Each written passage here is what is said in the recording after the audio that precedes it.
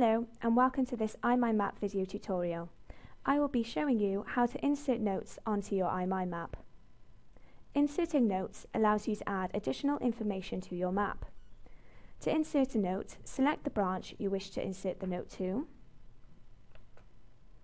Open up your Properties panel and select the, no select the notes icon. Simply type your note into the space provided.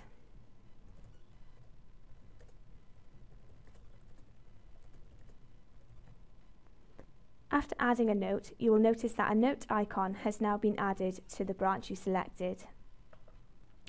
To access the note, simply click on the icon and you'll be able to see your note. You can change the style of your note using the formatting set settings above. To delete your note, you just need to delete your note in the side panel.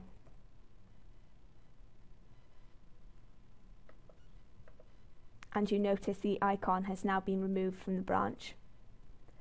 Notes will also be displayed in the presentation view and when exporting your maps as a Word document.